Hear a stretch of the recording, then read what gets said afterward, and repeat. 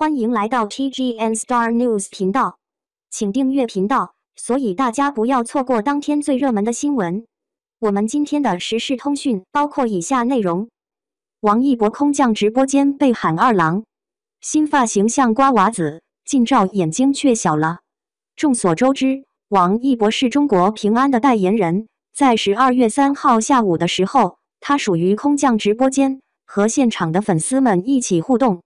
这几天网络上全都是关于王一博的新闻，尤其是他主演的《凤起洛阳》，正是深受大家的关注和喜爱。他所饰演的百里弘毅是一个特别直接的男生，是一个不懂感情的男生，并且这一次在刚刚开播就献上了自己的荧幕初婚，粉丝们都在感慨王一博终于长大了。反倒是眼见的不求人发现了，告诉王一博在左边，在左边。于是王一博就往左边看，结果还是没有发现对手。这下子不求人更着急了，先进房子，他在石头偏左边的位置。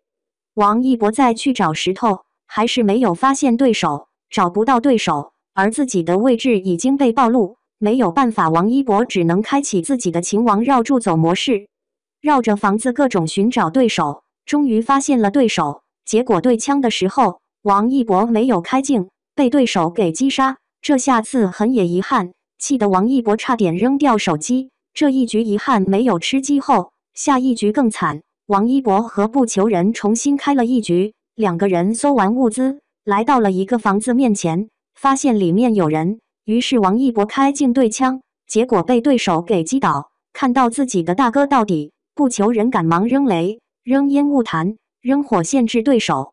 正在王一博回去拿暖宝宝的时候，被对手给打了数枪。好在自己有三级套装，没有被击杀。看到此情此景的不求人可着急了，有人打，赶紧去房子里。